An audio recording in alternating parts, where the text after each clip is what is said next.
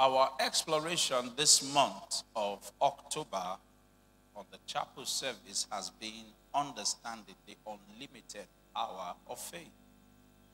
And we have been seeing, we have exercised our faith, we have seen diverse testimonies by the good hand of the Lord.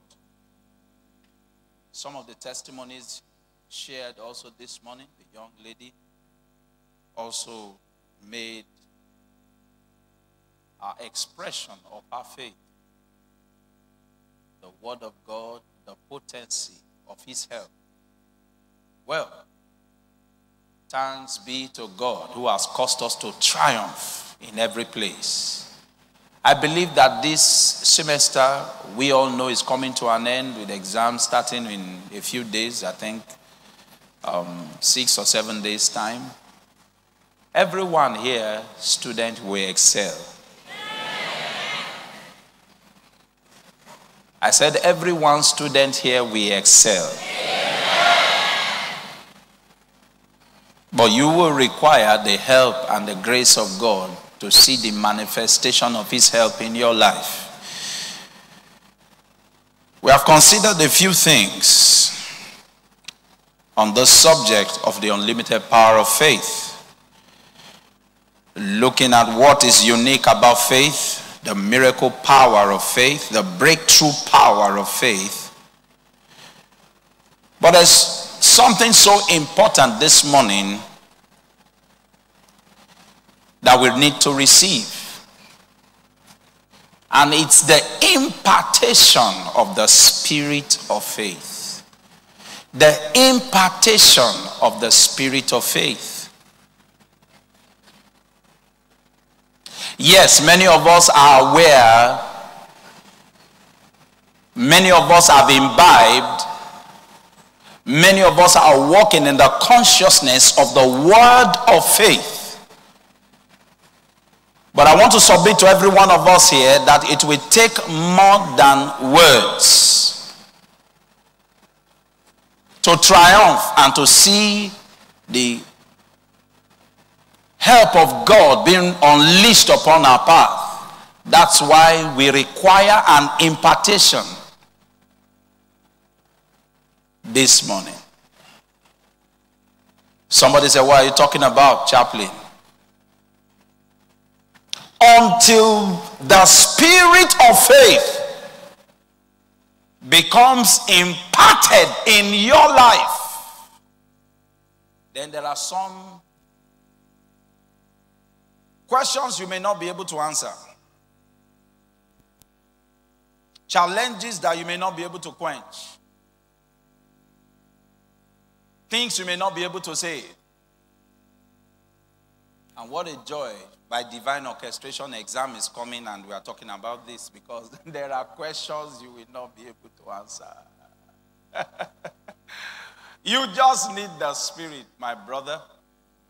You know, you know, let me tell you something here. Uh, quite a number of us just, like I often say, you are just good. You are just excellent. And uh, you see, God knows how to humble every man. He knows where to put the draft on, pull the plug on you. He knows it. He's your maker, he's your creator. We didn't make ourselves, he made, we were made of him. He knows just when to pull the plug. Somebody says, Oh, I'm just going to study. I'm study. You know, like I said on Sunday, I said, Well, if your study time, the substitute for study time is when you should be in the house of the Lord. Good luck. Sunday service is two hours. Chapel service is two hours. Okay, I want to come to chapel service. I have some. I have so many things to read. Read, oh. read. And let's see the plug pulled out from you. After all the reading, get to the exam, only goes blank. There's a little movie that I'm sure sometime we'll get across to it. I said it on Sunday Grace Unplugged. May your grace not be plugged out. Simple. So all the all the hello, you don't have any problem. Just do anything you like with God. Then when He's ready to unplug you, He just unplug you.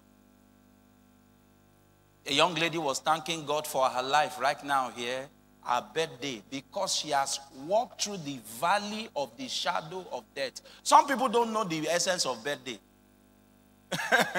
Ask the people who almost died. Then you understand what we are talking about. Ask the people who have been afflicted with sicknesses. Then you'll be able to appreciate what we are talking about. So when somebody said, me thank God for a one year added, some people didn't see the end of 365 days. Grace will not be unplugged in your life. Did I hear Believe believing amen there? Three to 500 level students, I said, grace will not be unplugged in your life. So we need the impartation of the spirit of faith. I remember God's servant, our chancellor said, God told him, Oh, quite prepared. Now, can you imagine? After 26 months of fasting and prayer, I'm sure he should be too sure. After going through about 36 different biographies of ministries, like, like he said, he should be too sure. But at the end of the matter, God said a word. He said, Okay, son, with all your prayers and fastings and preparation, I won't want you to go like others have gone. Now, call to my servant Adeboye that he may impart. You know, there's a missing link in that. Many people think uh, uh, spiritual things have. Now, let me say, there is not one of us that, none of us, biologically, that didn't come from a mother and father. It was only Jesus that the Holy Ghost was the father. And let me tell you this you will never be anything in the spirit realm when you don't understand who you must be imparted with. It's transferred. He said, Now, I won't want to go like others have gone. Now, call to my servant Adeboye that he may impart. Come on, say impart. Say it like you believe it, impart. Impart unto you the spirit of wisdom. Impart. That's the only way you can go. Impart. That's what you need. Impart. There's an impartation that you require. Many people who don't now. There are PhD postgraduate students that are here. You cannot finish your thesis without a reference. You are gliding on someone's shoulder. Like Isaac Newton said, you can't claim to have seen further except climbing on the shoulders of them that have gone before you we have a proud generation that will never make reference to where they have received where they, what they have. And you can't go far. Because there is nothing that we receive or we have that we have not received. You got what you got from somewhere. Acknowledge it, celebrate it, connect to it. Now, if it may interest you, I have a little book. I, my admin officer just went through it shortly. Many never recognize the unction that had been imparted. And Pastor Adeboye also was imparted. Just a few years, about a year or thereabout, he said he traveled to Tulsa, Oklahoma with Pastor E. Adeboye, who was the interpreter. And and a very small boy amongst the very big, big and people. Remember, Redeemed Christian Church of God have been existing over 30 something years before God's servant, Pastor Adeboye, came in. To take the mantle via impartation. And remember, the story said, in Tulsa, prophecy came. Baba didn't understand any English. And uh, he said, Oh, mommy, kill on we. He said, Daddy, don't worry. When they finish the prophecy, I will say it. So he wrote all the prophecy and went to the hotel in Tulsa and uh, he started unleashing all the, all the things. And one of the things he said, God said to his servant, Pa Akindayomi, that you have fulfilled all that you require in covenant for me. Now, I will make this ministry a worldwide ministry where every tribe and tongue will be shouting hallelujah. So every time you see God's servant, I'll call him our grandfather in the faith, come up and say, let someone shout hallelujah, is a fulfillment of prophecy because 150 nations of the earth, they are shouting hallelujah. But listen to me. That man, that same night, told Pastor Adeboye, kneel down in Tulsa and laid hands on him. And when that hand came on him, there was a transference of spirit that even caused an earth tremor. That hotel in which they were was shut down for 30 years. It was reopened 2011. Let me tell somebody impartation. Tell me somebody impartation. So God saw what transferred between Pa Akindayomi and Pastor Adeboye. And also needed a son who was going to walk in the same light and said, by the hand of God, by the Spirit, go and meet this man for an impartation. Hey, be awake here.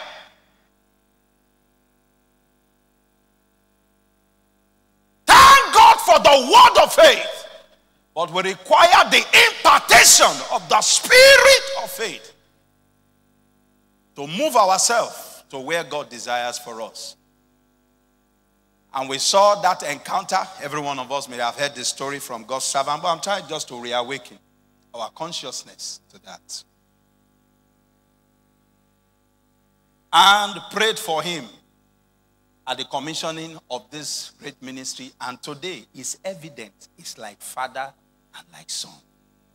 I pray that every one of us here, you know, I'm a son too, as much as you are, we will be evident representative of the spirit of faith that is coming forth from this ground.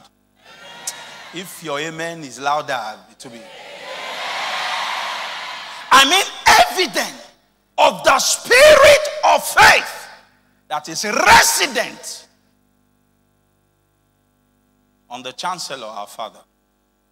Hey, many of us have seen some miracles, many of us have seen breakthroughs, but we need the spirit of faith. Now, somebody says, Oh, what are you talking about? Why do I need this faith? This spirit of faith. Hey, to think the unthinkable, you require the spirit of faith to think the unthinkable. This one, we call it in a, what do you call it? Maybe in the academia, thinking out of the box.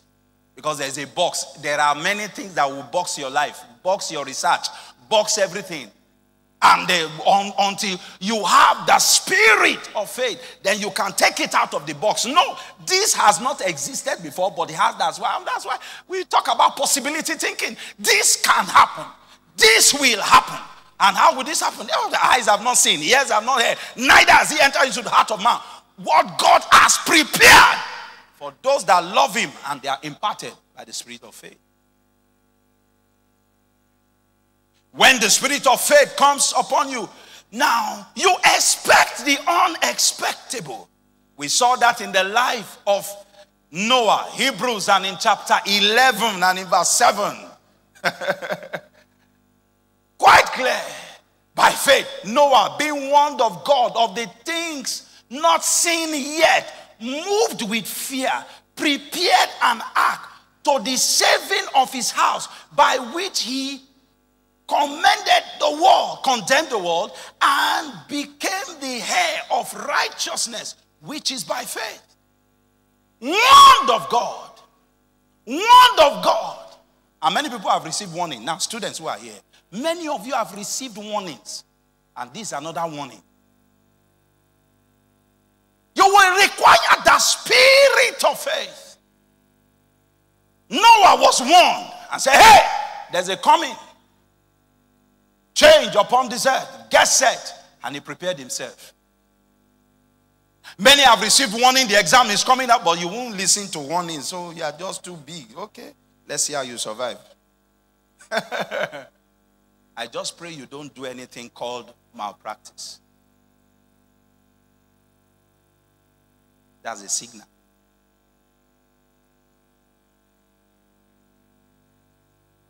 You better fear God than fearing exam. Because when you fear the Lord, the Bible says He's the beginning of wisdom. The beginning of wisdom. When you are imparted with the spirit of faith, you speak the unspeakable. Second Kings and in chapter 7 and in verse 18 to 19. Hey, eh, the economic advisor was saying, Oh, no, no, no, no, no. Things cannot happen here. He said, and it shall come to pass. The man of God spoke of the king, saying, Two measures of barley eh, shall be sold for a shekel. And he said, well, Excuse me, if the windows of heaven will open, what can do? He said, Nothing can happen. He said, Listen, you will see it with your eyes, but you, you will not touch it. I pray that the spirit of faith will come upon everyone individual here in the mighty name of Jesus.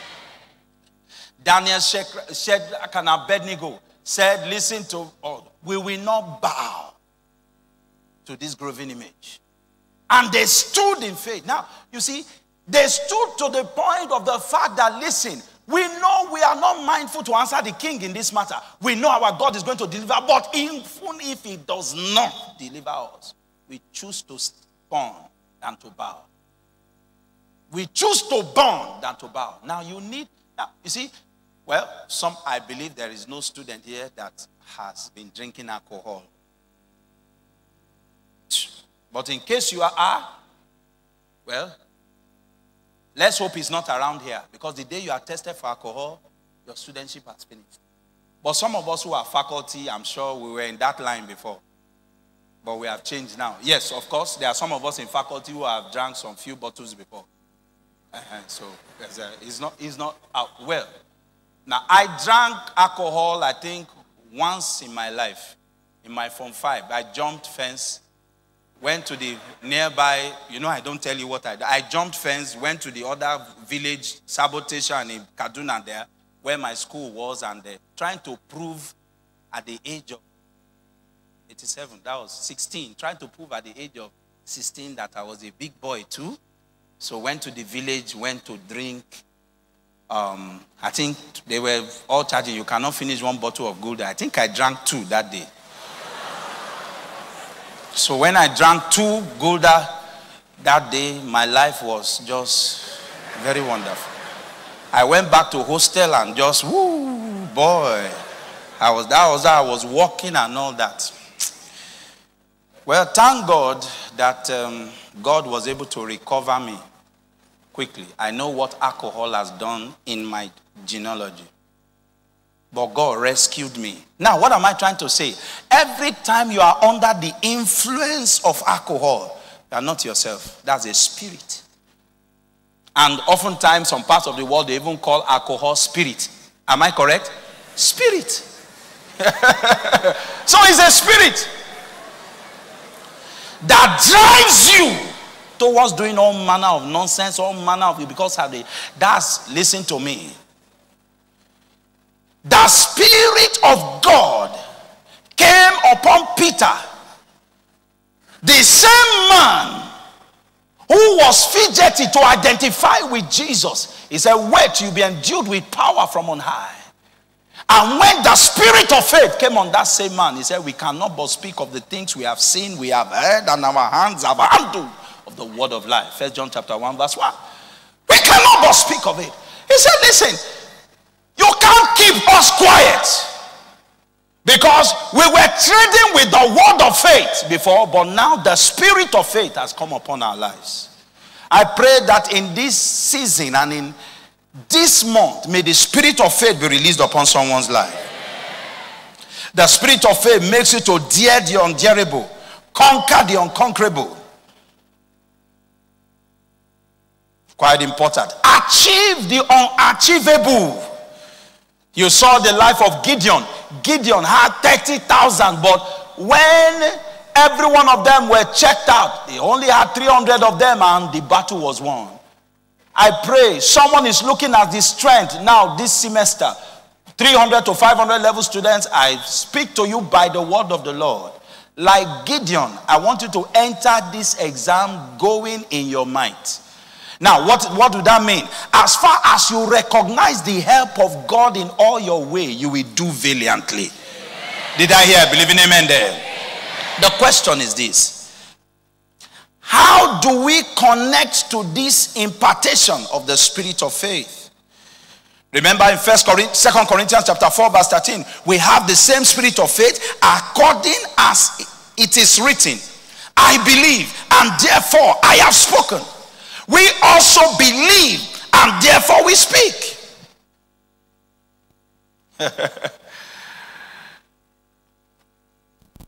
How do we have access of this impartation? Number one is this we must identify a carrier of this spirit. Identify a carrier.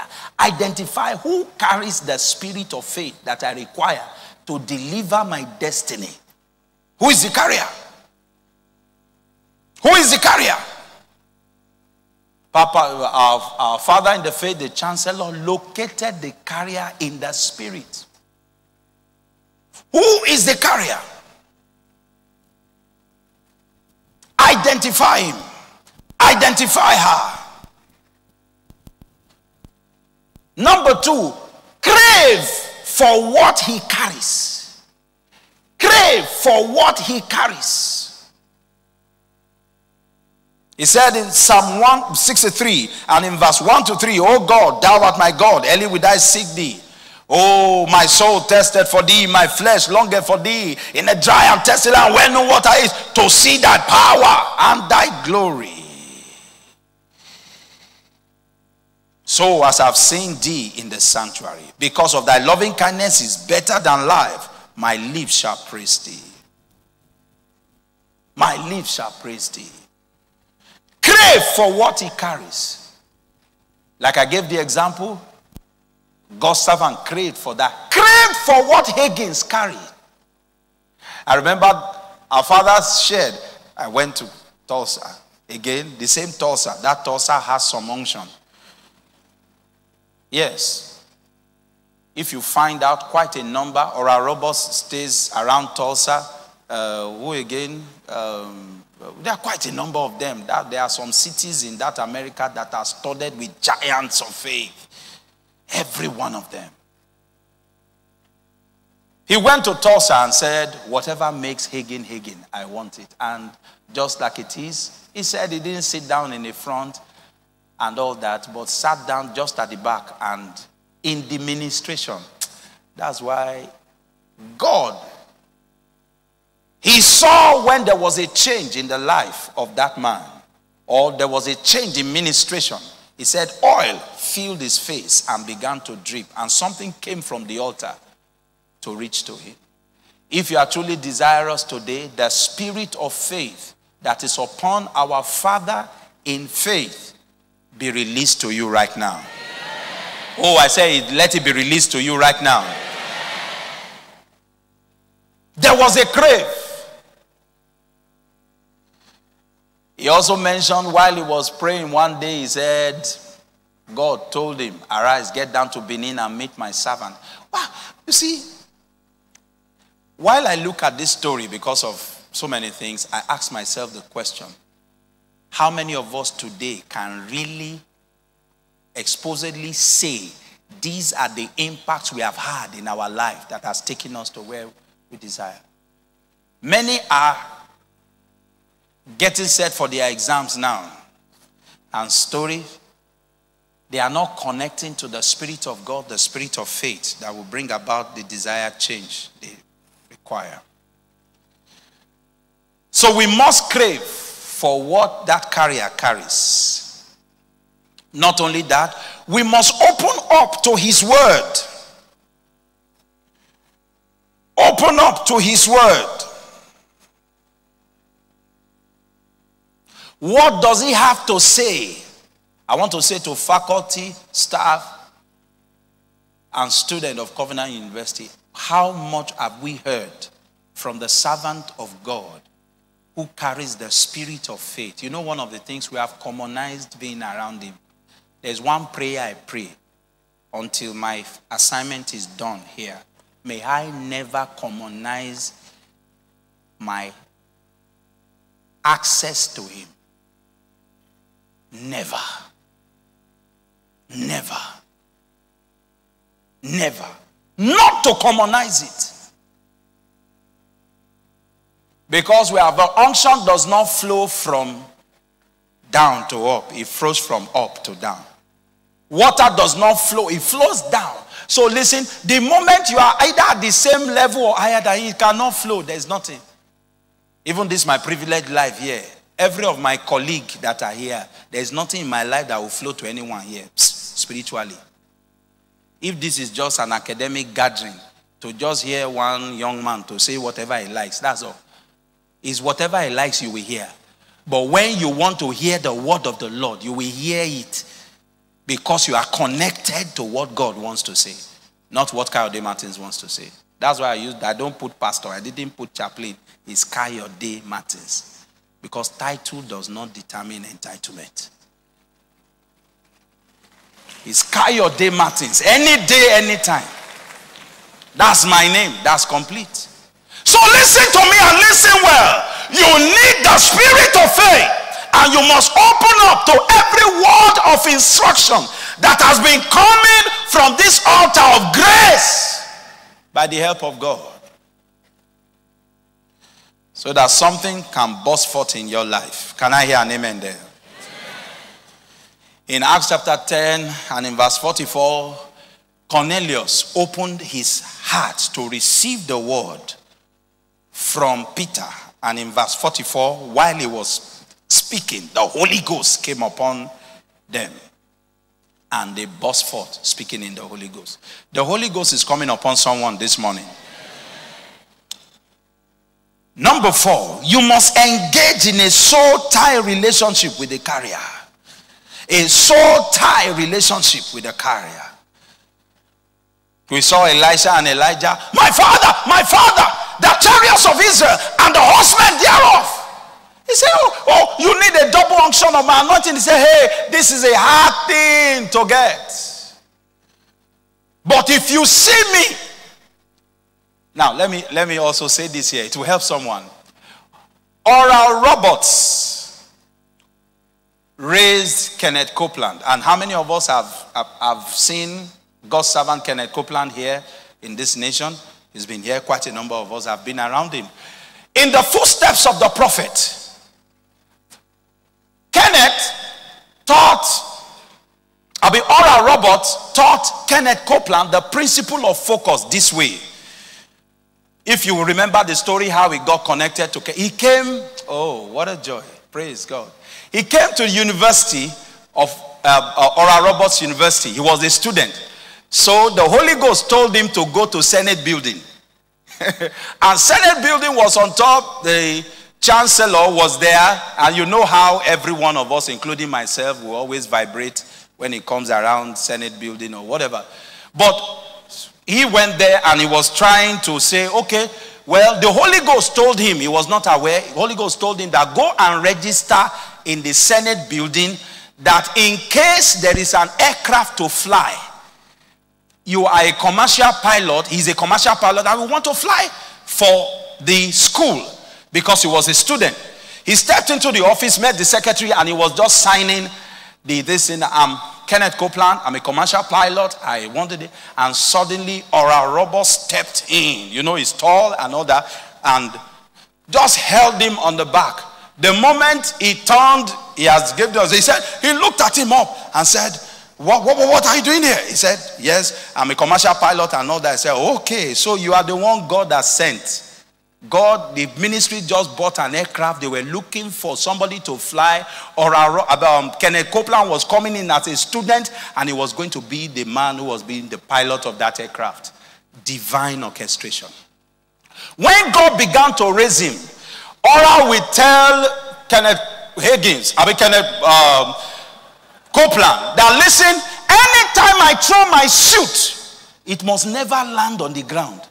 So an Oral minister so very vociferously and on his suit, he will remove his suit and boom, any direction he swings it to. Kenneth Copeland, woo! In the meeting, all the minutes of Oral, Kenneth's eyes never leaves the prophet. His eyes follow. Remember my instruction follow closely. Follow closely. He followed him until he received the unction that was on Oral Robert's life. He received that unction that was on Oral Robert's life. Your soul tie relationship with the carrier will determine what will rub off on you. May the Lord give us understanding. These things are not strange. We have heard them over and again, but many of us have not taken note of what we need to do. That struggle in that your project will come with ease when the spirit of faith comes upon you. Because that's the spirit of solution. Everywhere you have been blocked right now, I decree let the hand of God be rested upon you. Hmm.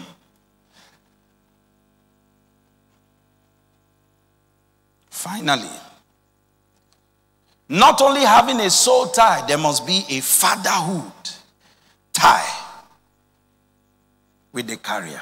A fatherhood tie with the carrier.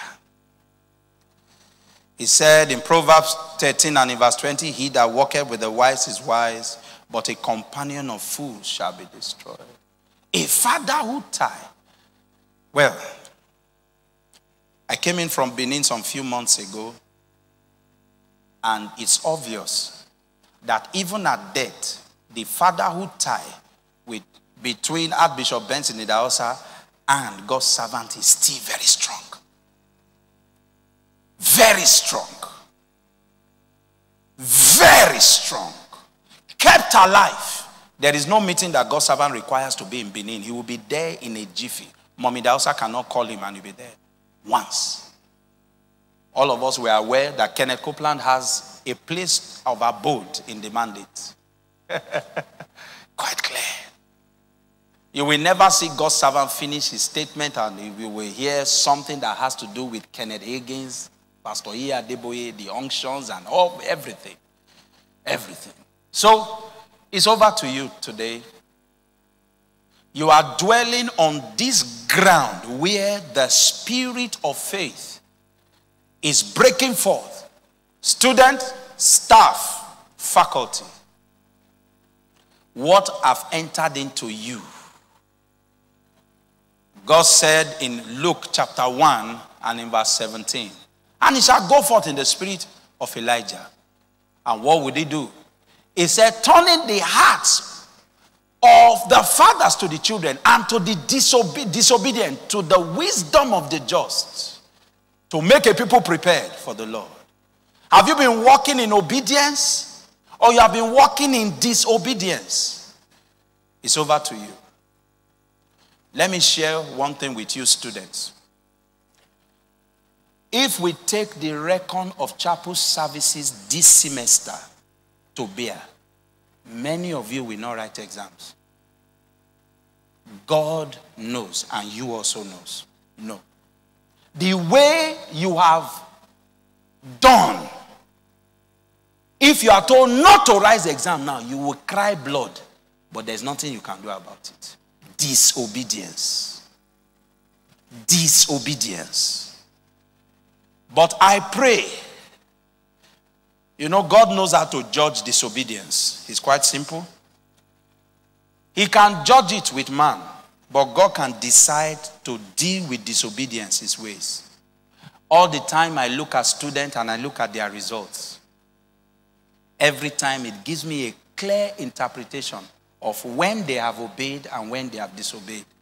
Many started well. The moment they began to disobey, God began to unplug grace Many are struggling and they know it. Why? Because they have refused to allow the spirit of obedience, which is the spirit of faith, to be released upon their lives. So, over to you. This morning, by the help of God, we have seen miracles, we have seen breakthroughs, but the best is yet to come. I didn't hear your amen there will be research breakthroughs by the spirit of faith. There will be academic breakthroughs by the spirit of faith. Did I hear believing in amen there? So, everyone under the sound of my voice, the moment you put yourself right in God, then it's a new dawn for you. Rise up on your feet. Hallelujah.